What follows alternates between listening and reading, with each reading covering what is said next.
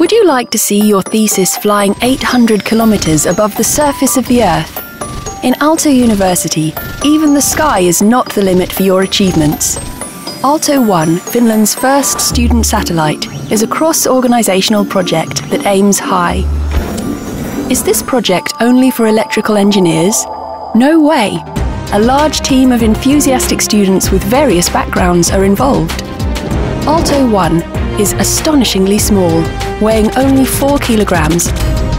The small size enables less expensive construction and launch, but yet makes it possible to carry plenty of useful load to space.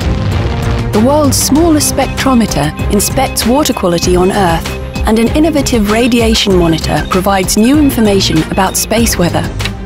The students design the entire satellite, its structure, advanced thermoregulation, solar power system, computer system, some of the payloads and the ground control station, which is located in the Otaniemi campus area.